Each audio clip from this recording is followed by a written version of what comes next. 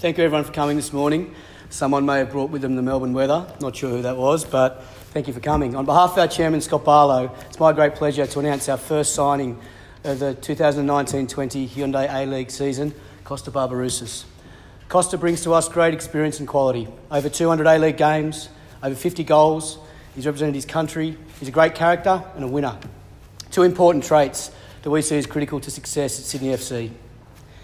Kosta signing is another indication of our club's ambition to win all three domestic trophies next season, to defend our Hyundai A League Championship, and to taste success in the AFC Asian Champions League.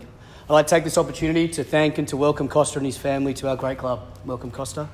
And I now hand over to our championship winning head coach, Steve Corica, to say a few words. Um, Kosta, I'd like also to welcome you and your wife Tara to the Sydney FC family.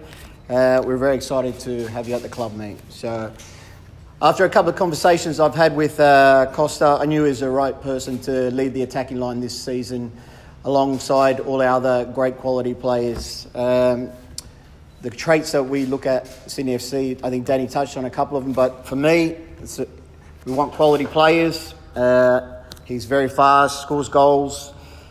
I think he's going to be very exciting for our fans to watch as well. So, um, also, I'd like to, you know, I think he's got great experience. He's won trophies at Melbourne before, so we look at that as well.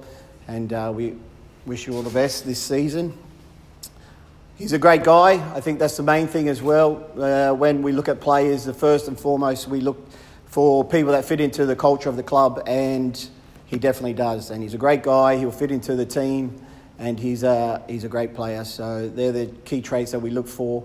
Again, welcome, uh, Kosta. Looking for a great season from you and to win more trophies next year. Thank you.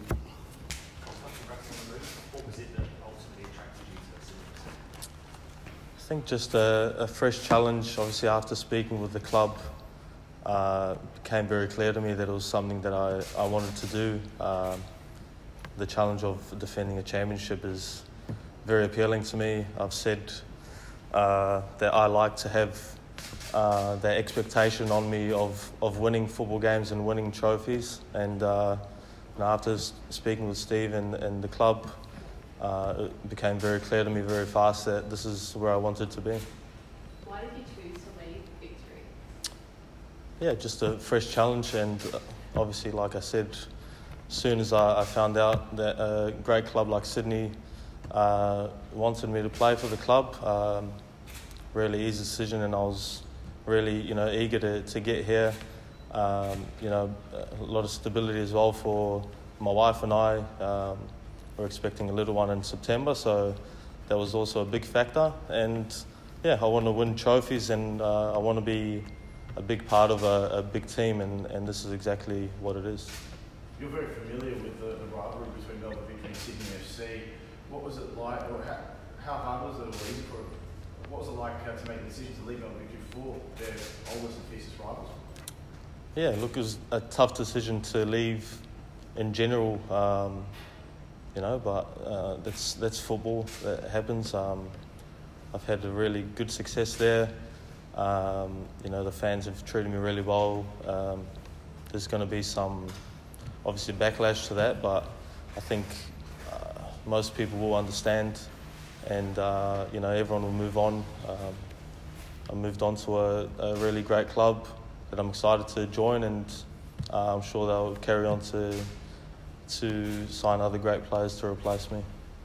You're coming in, obviously, as a centre forward alongside Adam Le Fondre. The club's lost Alex Ross, Siem de Jong, and Reza Ghoochannejhad. Do you feel the extra pressure of knowing that you've got to get some goals this season? Uh, yeah, I, I, like the pressure. I like the expectation on me. I think uh, looking back, I've performed better when there is expectation and pressure on me. So that comes with playing for a, a big club. So uh, it's not something that uh, is going to bother me. It's something that I'm going to relish, and you know, it doesn't come just turning up on the game day. I want to work hard, and I want to uh, integrate myself to the club and, and to the players, uh, my teammates, as soon as possible. And it looks like there's a great group of of players as well. Um, you know, obviously ability-wise and character-wise. So uh, it's something that really made my decision very easy to, to come here and join Sydney FC. It was a tough contest to secure you. So, you know, what was the deal and what was attractive about it? Uh, yeah, so I sort of just put everything um, to the side until my season was over, and then, um, yeah, like I said, once I spoke to, to Steve, it was a pretty easy decision to make um, where I wanted to be. You know, it's obviously, like I said, tough to, to leave where I was, but uh, I'm always just looking ahead, and it was very easy. I, I could see myself and my family here for the next three years, uh, working hard and um, you know being successful. Like I said, it, it's not guaranteed, but uh, I found that preparation uh, week to week and day by day is, is the key to giving you the best chance of that. And this is where I, I think is the best place for me to be to, to bring the best out of myself.